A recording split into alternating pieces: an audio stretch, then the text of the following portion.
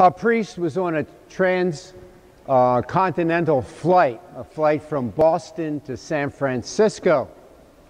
He was sitting in a seat, and right before it took off, somebody came and sat next to him. Must have been a standby sort of uh, passenger. So, anyway, the plane took off, no problem, got to its cruising altitude, no problem, and was on its way for those several hour flight to get into San Francisco. After they had sat there for a while, the fellow sitting next to the priest tried to start a conversation with him. And in the middle of the conversation, he just asked him, Do you really believe in eternal life? And before he got a chance to respond to it, he went into a tirade. Well, I don't. I don't believe in God. I don't believe in eternal life. When you die in this life, it's over and done with. I believe in science. I believe in evolution. I believe in, you know, survival of the fittest. Eternal life, God, ha. And then there was a period of silence. So the priest, with a smile, just said, Well, thanks be to God.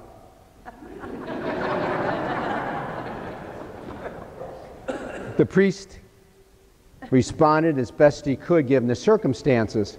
And that man who was sitting next to him, well, he still has the chance to change his mind and heart, doesn't he? But our gospel says he better be in kind of a hurry because you never know when the master is coming back. We heard proclaimed, You do not know when the Lord of the house is coming, so may he not come suddenly and find you sleeping. Better be awake, huh? Watch. The three writers we hear from on this first Sunday of Advent, when they originally wrote, had no idea that what they wrote would be used in a liturgy in preparation for the great feast of Christmas. They each had a unique place to play in salvation history from an historical perspective. So today, instead of placing these readings necessarily in the context of Christmas, I thought we would put them in the context for which they were written and see what we can learn from them. First up, the prophet Isaiah.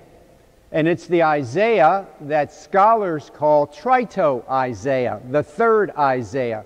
There are at least three different authors within that book. Now, he's writing at a time when the people were able to come back from the Babylonian captivity. The only way you can really appreciate this reading in its context is to kind of close your eyes and develop a mental picture Pretend like you're one of the people that have come back from Babylon and you're standing in the ruins of what had been the Temple of Solomon. You see, in 586 BC, the Babylonians, the superpower of its day, had destroyed Jerusalem and the temple, taken the best people, the cream of the crop, the aristocrats, so to speak, and moved them into Babylon in captivity. But in 530 BC, the Persians had conquered Babylon. Now, the Persians, despite their bad press with regard to their fights with the Greeks, were fairly lenient to the people that they conquered. And in fact, Cyrus the Great, and he's called the Great for many reasons, put out a proclamation that said the Jews could go back to their homeland and rebuild Jerusalem and the temple if they wanted to.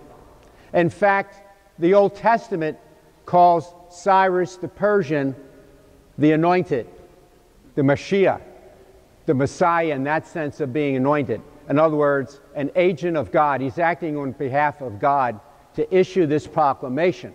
So some of the people gathered their goods and went back to Jerusalem with the idea of rebuilding. That's what you got to have in mind. And, and you're standing within the ruins of this temple and the city and everything else.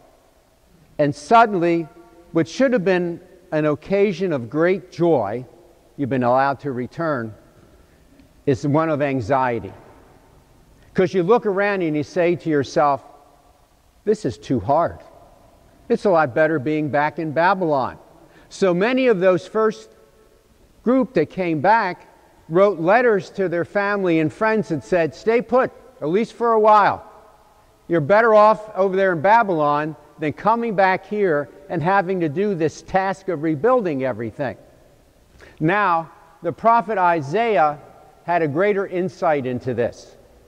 He knew that if the people did not first rebuild their relationship to God, have a conversion of heart and mind, they were estranged from God. If they didn't do that first, it didn't matter whether or not they rebuilt the temple or not. The temple would be, when it's built, an outward sign of the relationship of the people to God. And so we hear this lament from Isaiah throughout that first reading. Why do you let us wander, O Lord, from your ways? You know, uh, there is none who calls upon your name, who rouses himself to cling to you. So Isaiah knew first we've got to rebuild ourselves before we rebuild our temple and be able to offer sacrifice again worthily to God. That gets us to Mark. Mark is writing about 10 years after the correspondence we heard from 1 Corinthians from Paul. Mark is concerned because even though Jesus didn't come back, and it's around the year AD 70 now, uh, he still expected him back anytime in the lifetime of those who would hear or read his gospel. So he's concerned because he wants the people to be where they should be, doing what they should be. A little story, hopefully, to illustrate what I'm talking about. And I know this has happened to everybody here. Pretend you're back in grade school and the teacher says to you, I've got to step out of the classroom for a couple minutes, and I expect you to behave in my absence. Okay? Take your reading book out, read quietly. I'll only be gone a couple minutes, and then I'll be back. And she steps out. And for about two minutes, that happens, right? Then after two minutes, spitballs start flying, everybody starts running around the classroom and everything else. And you know that when that teacher comes back in, there's going to be a reckoning. There's going to be something to pay for not obeying her. And so that's what Mark is scared of. He wants the people to be alert, to be watchful, to be vigilant, to be where they're supposed to be, doing what they're supposed to be. So we keep hearing these warnings be alert, be awake, be vigilant, watch. Okay, we're 20 centuries later. So the slogan in AD 70 was be alert. What is it now? Be alert. Even though we don't think he's imminently coming back a week from Thursday, we still know he's coming back. He's been delayed for 2,000 years. And we can be like those kids in the classroom and lose track of that and start going off on our own way and not be where we're supposed to be, doing what we're supposed to be. So, how can we stay alert? We can stay alert by doing what Isaiah was telling us in that first reading to change ourselves.